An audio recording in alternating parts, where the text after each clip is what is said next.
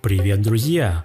Представьте себе птицу с мощной, как у орла, головой и длинными, как у цапли, ногами. Она поражает своей грациозностью и элегантностью, а ее мастерству танцевать остается только позавидовать. При этом ее боятся змеи, даже такие ядовитые, как кобра. Знакомьтесь, птица-секретарь. Хотите узнать больше? Тогда приготовьтесь. А перед стартом я прошу вас подписать. Природа представлена множеством удивительных обитателей, информация о которых достаточно интересна, а порой даже удивительна. Среди многочисленных классов фауны немалую долю занимают птицы, которыми заселены практически все уголки планеты, и среди них есть довольно странный как по названию, так и по образу жизни представитель – птица-секретарь. Она обладает очень яркой внешностью, Птица отличается маленькой головой, серо-белым клювом, длинной шеей и мощным, словно у орла, телосложением.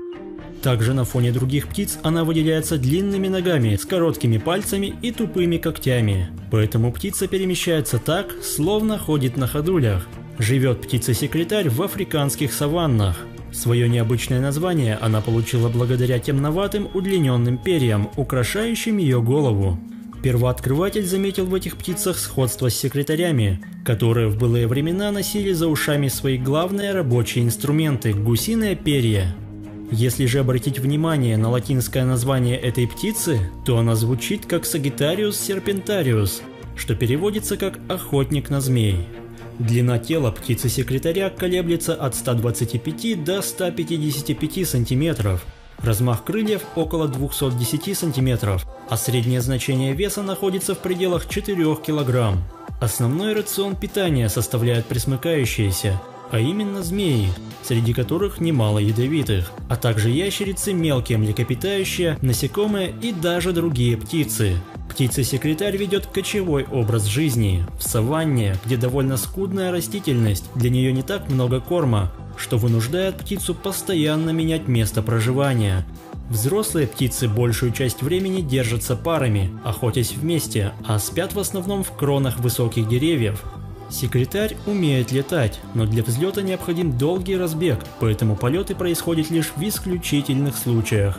В связи с тем, что птица-секретарь отлично расправляется со змеями, местные жители нередко держат ее в качестве питомца для борьбы с ядовитыми присмыкающимися и крысами.